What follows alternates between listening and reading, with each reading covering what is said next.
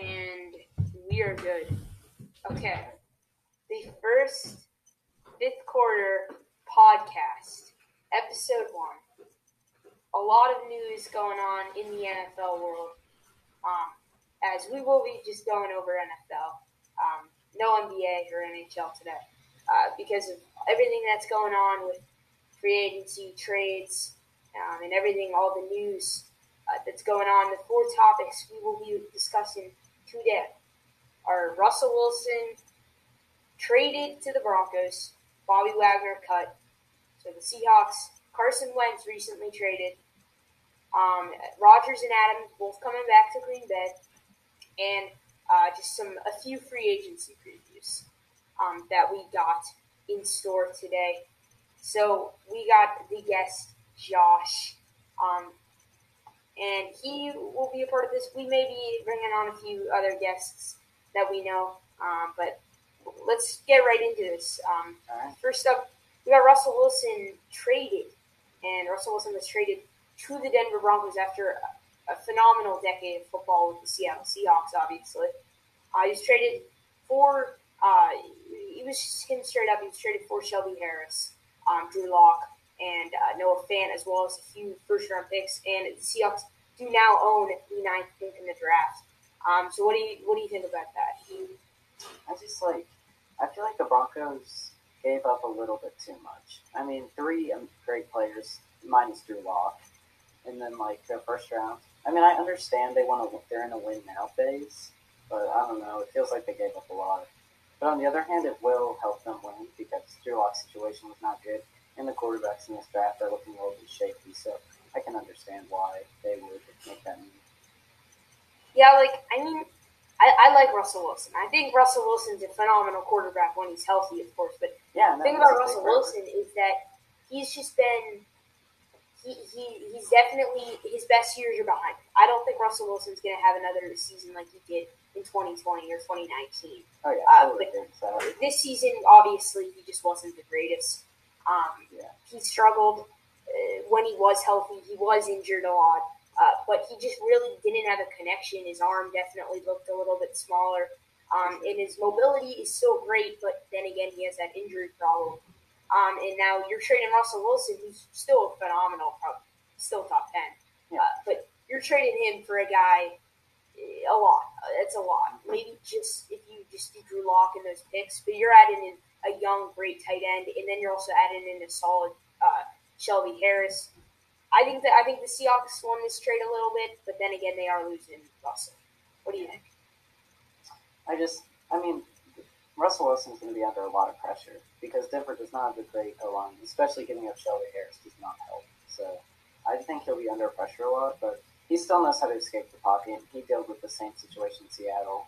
I just, I don't see them making a deep playoff run, you know, with the Raiders, Chargers, and Chiefs in their division. I don't know. I just don't see it. But on the, I do agree with you. I think the Seahawks won the trade, but then again, they did lose Russell, so that was not good for them. But the Broncos, Yeah. they're looking to win right now, so let's see what happens next few seasons.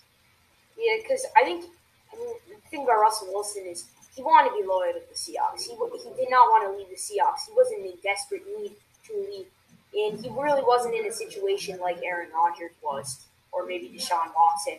But then again, was Russell Wilson really going to win?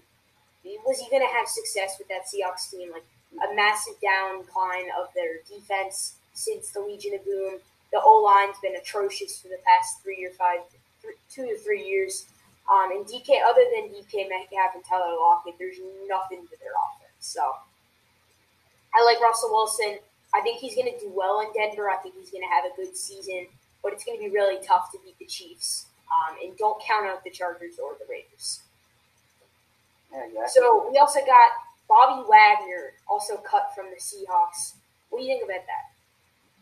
Man, I just, I don't, I understand it. He's getting really old. He's way out of his prime. They don't need to pay him the money that he wants, so I totally understand them doing it. I don't know who's going to pick him up. I mean, like, he, if he wants to take a lower offer deal, I could see him getting picked up. If he asks for too much, I don't think he's going to. But I think eventually he'll ask for a lower deal and get picked up as like a, you know, halfway, like first and second down player. but he might. I don't know. Depends. Do you think? I mean, Bobby Wagner. I think Bobby Wagner still has amazing football left in him. Like he, he definitely wasn't as looked at a lot this season because of how great T.J. Watt and Myles Garrett were, and a lot of times middle linebackers like that they just don't get recognition.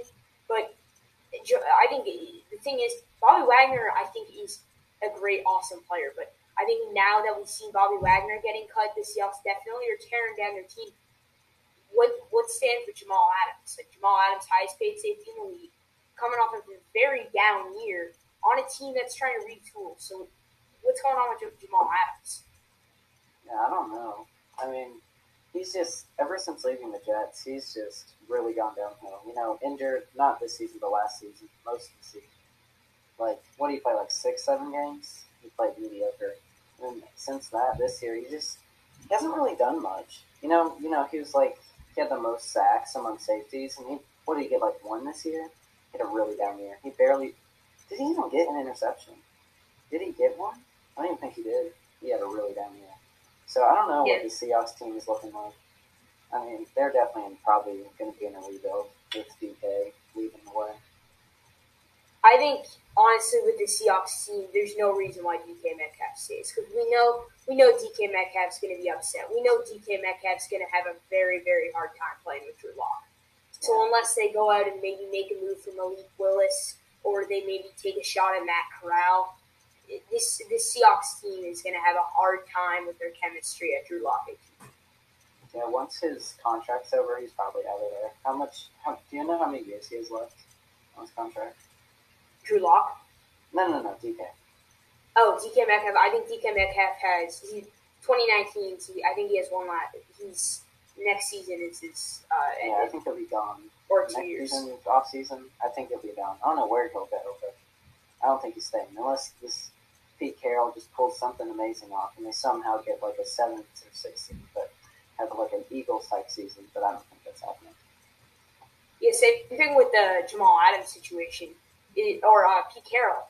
Is Pete Carroll really the future of that team? Like Pete Carroll coming off of a, a pretty bad season, and if they're t- retooling their team, they may be retooling their coaching staff. So Pete Carroll could be on the hot seat. Um, but if they're, I think if they're able to have a solid season with the team they have, I think it's definitely considerable that Pete Carroll is a long term guy. Yeah. But he's definitely on the hot seat. I mean, he's the oldest coach in the NFL. You never know; he might just want to quit. But I don't think Pete Carroll. He's a really competitive guy. So I don't know. It, it just depends on how they play. You know, the general managers they always blame the coach. So if he has two down years, they're gonna they're gonna get him out of there. But if he, you know, strings along a few decent seasons, they, they'll probably keep him. Yeah. Um. Moving on, Carson Wentz is now a Washington Commander, the new starting quarterback. What do you think about that? And I just you know, just hearing this today because it just happened, I, I thought that was insane. Like, I just, wow. I mean, I think the Colts won that trade because you saw what he did against Jacksonville last year. I mean, this year, like, in the last game. Because they would have gone to the playoffs if they won that game. The way he performed was just terrible. So I think they won that trade. They need to get a young quarterback with a lot of upside. And I think they could definitely go to the playoffs. It's a young wide receiving core. Of course, Jonathan Taylor, that monster O line, and great good defense.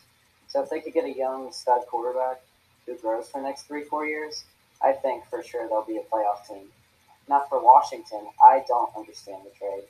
I mean, I get there's no good quarterbacks this year, but I just don't see Carson Wentz being a good option. Giving up all the all those picks was just I, I don't know what they were thinking, but we'll see. What do you think? I I think this is very, very similar. Other than the fact that he played for the Jets, and it's a completely different situation when you're on the Jets. I think this is similar to the Sam Darnold trade because I think it's a team like the Commanders who are desperate in this low QB market. And as much as I think Wentz has an upside, like Carson Wentz, only seven interceptions last year, and his main flaw was definitely his decision making. He definitely looked good, and I think if you give him a number one receiver, a real number one receiver, he could probably put up 30, 35 touchdowns. But I think Carson Wentz, the, the Washington, they're not getting much out of Carson Wentz. And I don't think Carson Wentz is much of an upgrade over Taylor Heinicke. I like what Taylor Heinicke did. He was a great quarterback. Um, he was a, he was a good scrambler, he was a good improviser, but based off what he came from, he's a great quarterback. Now, I don't think he's a long term option, but I think for the Colts, they don't have a quarterback right now. I don't know where they will go with quarterback, whether they want to go um, in the draft or they want to look at um, possibly a maybe Deshaun Watson, but that would never happen. Uh, but it, it, it's really a toss up for get, like, teams. I think the Colts won the trade because they got some picks, but we'll see. This is something they could do. They could sign Mitchell Trubisky and like draft a quarterback in later rounds because the Bills are saying Mitchell Mitchell is not going to be on the team because he believes he can have a starting job somewhere. So I don't. I honestly don't think they'll sign Mitchell Trubisky, but you, know, you never know. But Yeah, Mitchell Trubisky's an awesome. Yeah, like Mitchell Trubisky's he's sick. I think people people like he people get mad at him and people Bears fans are toxic about Mitchell Trubisky, but Yeah, if you look at look at this, I mean, I know a lot of people are just looking at preseason, which is tough, but I'm not even looking at the Bills preseason games, which everyone's looking at.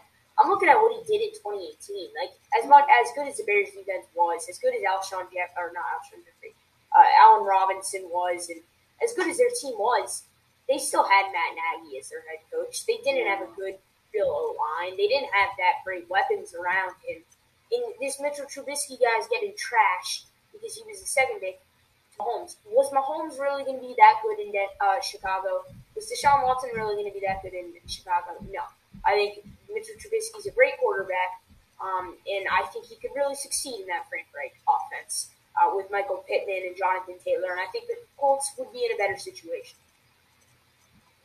You never know. They could do it. Yeah. So next we got uh, Rodgers. Aaron Rodgers is back, and so is Davante Adams. What do you think?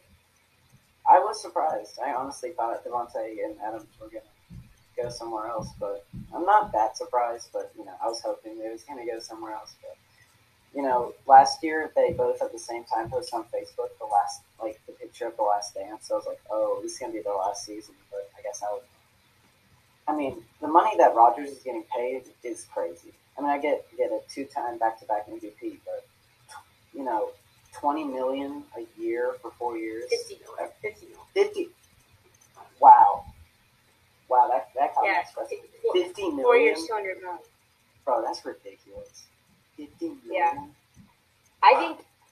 I think Rodgers deserves to be the highest paid QB in the NFL right. I will say that. I'm not saying fifty million, but he definitely deserves. Okay. Yeah, but like I was saying, I think Aaron Rodgers, looking at the years, I think Aaron Rodgers deserved the, the money he got, and definitely was. Alright, He wasn't. Aaron Rodgers wasn't that great this season. Like he Yeah, was, yeah. he was better than the average score. but he definitely was overrated. He wasn't as good as his MVP season. But Aaron Rodgers, I think Aaron Rodgers, talent wise, is better than Mahomes. Now, talent wise, I think Josh Allen is probably the best, maybe Justin Herbert or Joe Burrow. But Aaron Rodgers probably deserves to be the highest paid. I just think fifty million for an NFL player is absurd. Um, I think you give Aaron Rodgers like a three-year, hundred million dollar deal, and that would suit what he deserves. Uh, but yeah, I mean, I think fifty million is absurd, especially with the QB. That I'm not saying he don't don't get crazy at me in the comments or anything, but I'm not saying that Aaron Rodgers is on a is he's not playing well. He's not good anymore. I'm saying he's in a downward incline.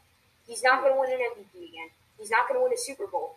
And I think Aaron Rodgers isn't gonna isn't worth. It's not, it, it isn't worth that he's making 50 million in 2024. That's just totally agree. ridiculous. I mean, exactly. Aaron Rodgers, yeah, he's not going to have an end like Big Ben. He's not going to have an end like Drew Brees. He's going to have an end similar to Brady, although he won't win the win the ring. Uh, but I, I, I, I knew this was happening. I knew Aaron Rodgers was like I, Aaron Rodgers just wasn't leaving. Like he's just the guy. He stirs up the pot. He makes everyone think that he's leaving, and then he doesn't. lose. He did that last season. He did it again this season. I, I knew this was happening. For Adams, I, I did not expect it for Davante Adams. I thought he was going to to 49ers or something. Especially, like, paying him that much. They have a lot of free agents this year. They're going to realize, oh, we paid him way too much because there's so many positions like that people don't think is important right now that they like could sign back. That when they lose them, they're going to have a downward year. I'm not saying they're not making the playoffs. They have a terrible division. They're going to definitely make the playoffs. I just they're not going to win the Super Bowl. They're just not. They just Rodgers just can't win under pressure. I don't know, especially not against the 49ers. Over four, it's tough.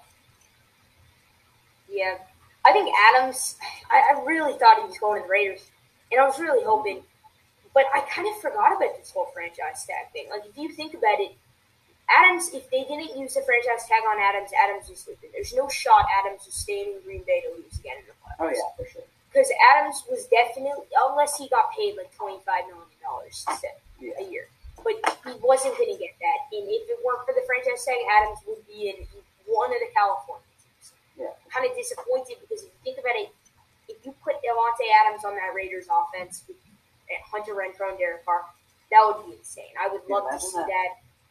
Even the Chargers offense, Justin Herbert, even maybe even the uh, 49ers offense with Deebo Samuel, that would be phenomenal. Um, and that would really shake up the league. Um, but Davante Adams is on the tag. Uh, where do the Packers sit now with their other free agents? I just how many of them are they going to be able to pay? Like they've spent so much money on Aaron and Davante. I mean, I understand why. I'm not criticizing. I'm just saying, I don't. How are they going to? They're not going to be able to pay them all. So, so so many of their role players that they don't understand how important they are are going to leave, and I just I don't see them being number one in the conference. I just don't see it happening. There's, I just, I mean, I don't, I don't know if they can compete with the Rams. You know, I think they're winning the conference. I think there's no doubt about Really? that, especially really, with Russell Wilson gone and Tom Brady gone. Like, I don't know. I think like be the like only teams competing with them is the Rams, and unless the Rams are able to retain their whole team, it, which I think could happen, but I, I think the Packers are still winning the conference. Like Yeah. they had, they had their pretty much basically their whole team back. They got a good draft pick, unless the Rams make a big move or something. I, th- I think the Packers With got. what? With what?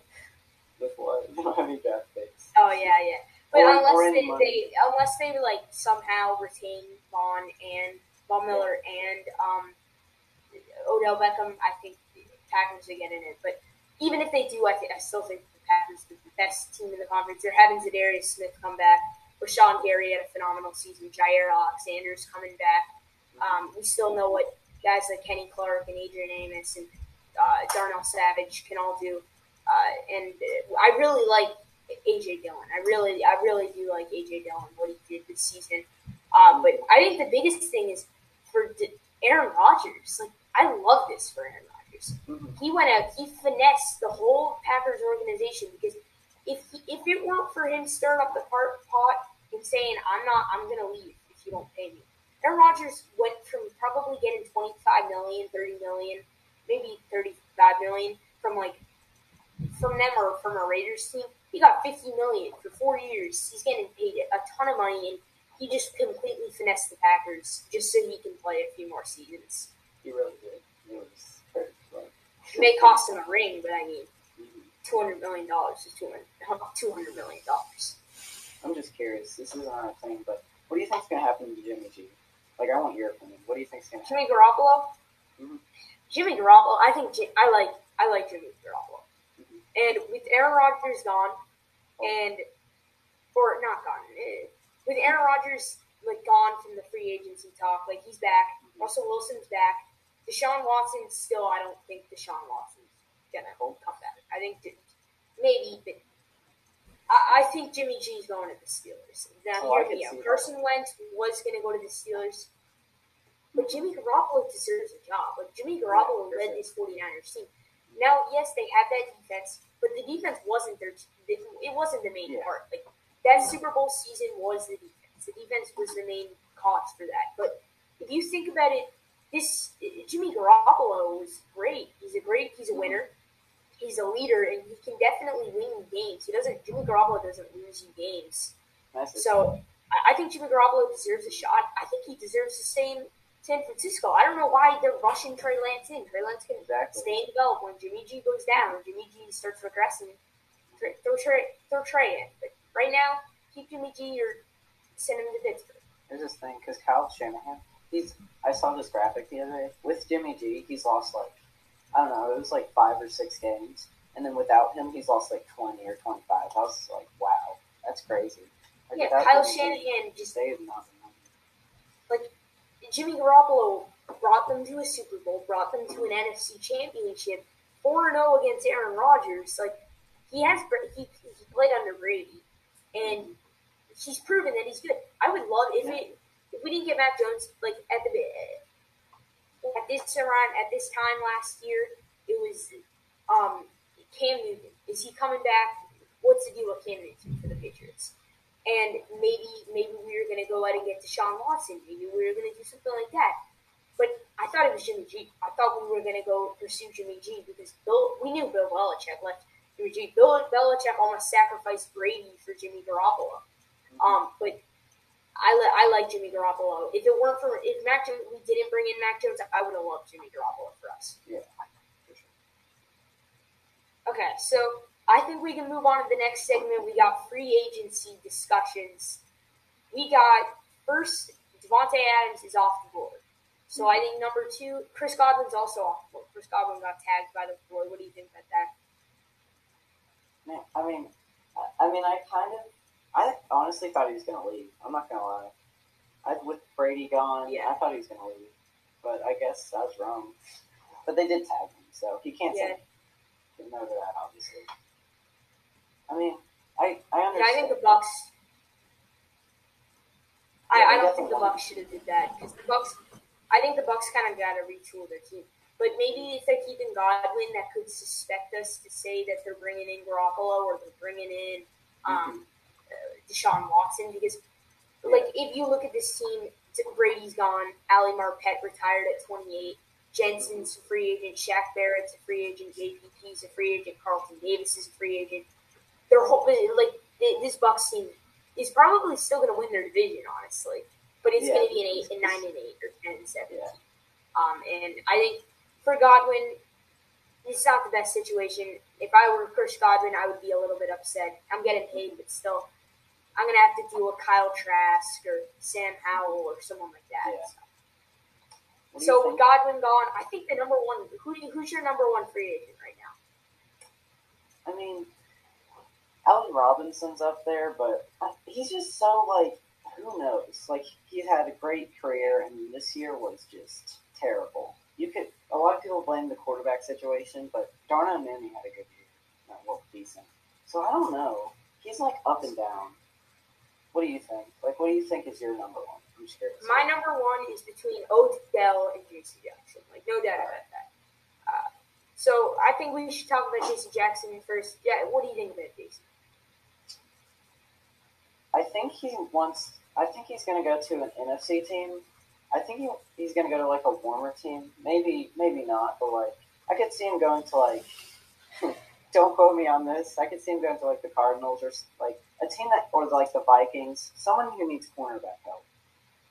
But on the other hand, I could see him go like the Rams, just being like, you know what, screw it, Odell, bye. We're going to bring in like JC. So I, I don't think that's actually going to happen. But you never know with him.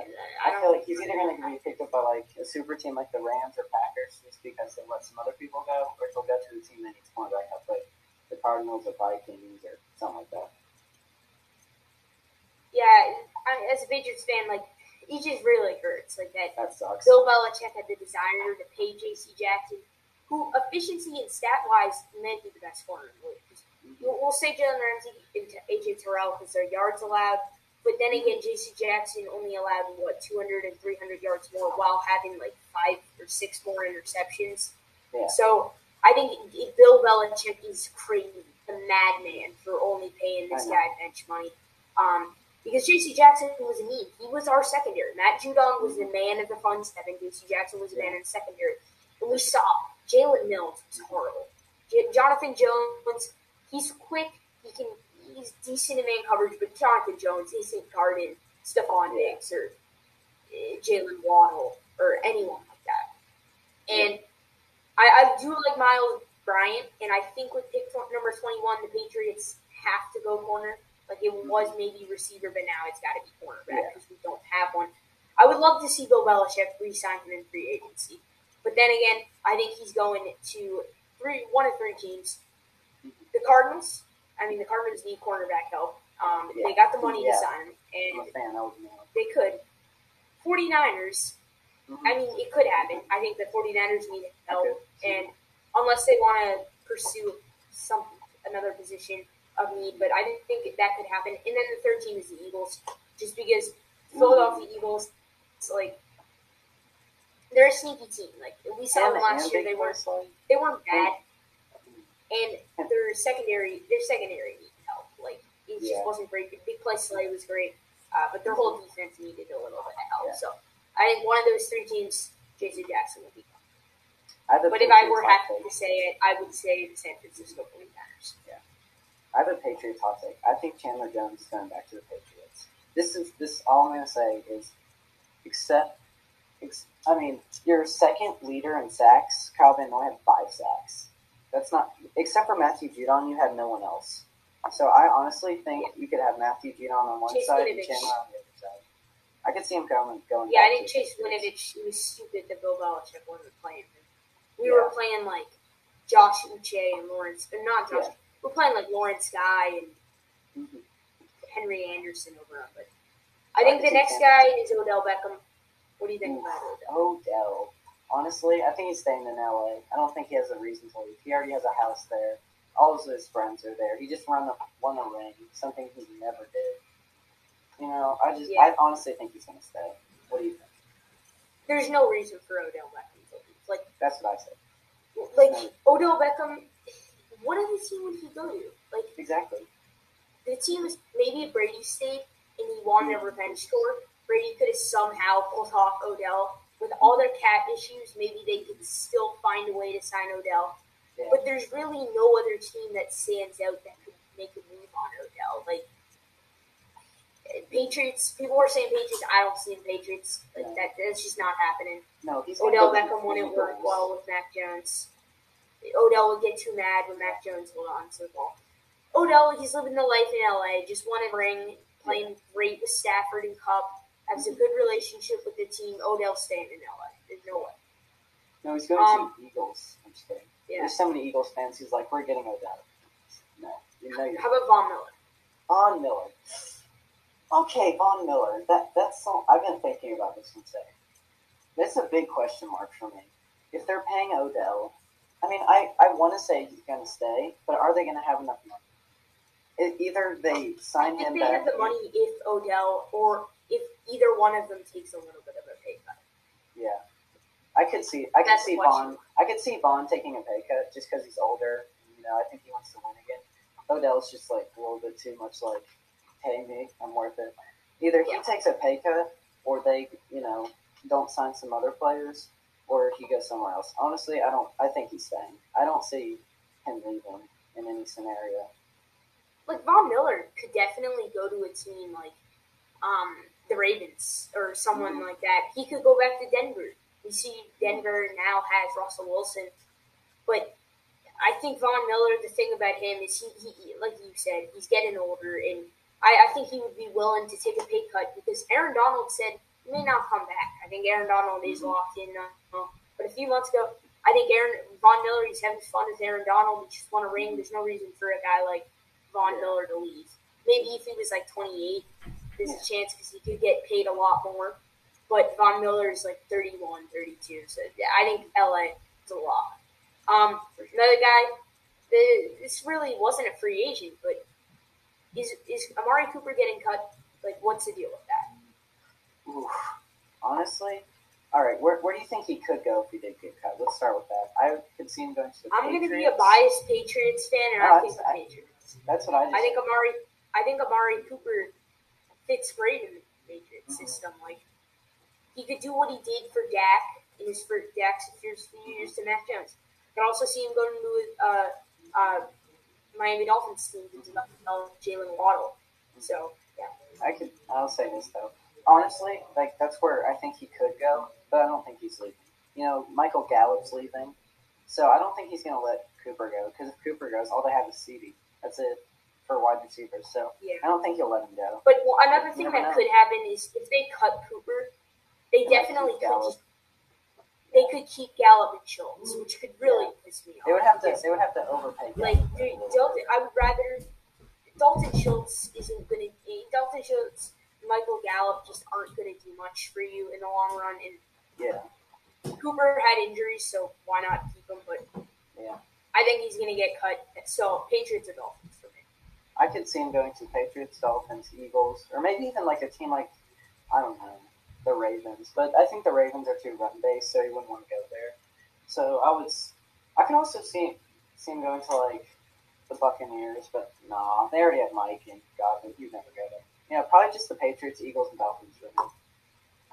Yeah, that's an option uh, for sure. But uh, we also got a guy like Tyrann Mathieu, who Ooh. said he's gonna leave. Hon- Honestly, Ravens. That is my number one thought. I think he's going to the Ravens.